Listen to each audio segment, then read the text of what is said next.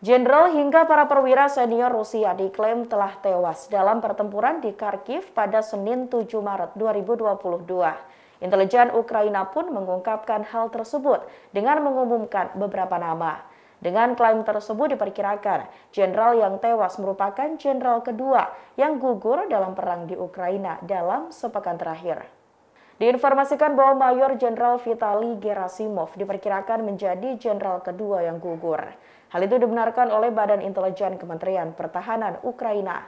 Pihaknya mengatakan bahwa Mayor Jenderal Vitali Gerasimov, Kepala Staf Angkatan Darat ke-41, telah tewas di luar kota Kharkiv. Tewasnya jenderal tersebut dibarengi dengan meninggalnya para perwira senior lainnya. Kementerian juga menyiarkan percakapan antara dua petugas FSB Rusia yang membahas kematian itu.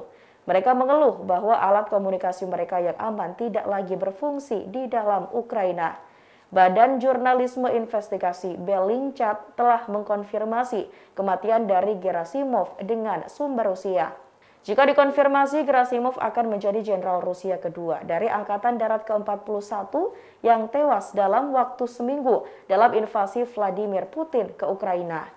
Tewasnya perwira berpangkat tinggi terjadi pada saat banyak pasukan invasi Putin terhambat oleh masalah logistik, moral yang buruk, dan perlawanan Ukraina.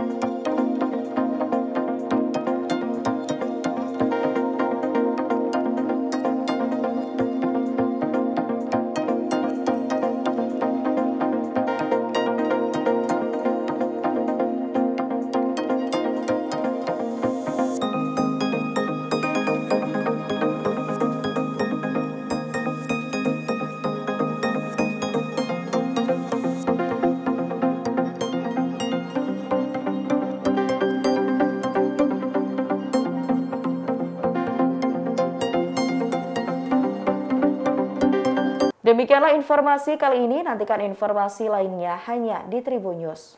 Terima kasih sudah nonton. Jangan lupa like, subscribe, dan share ya.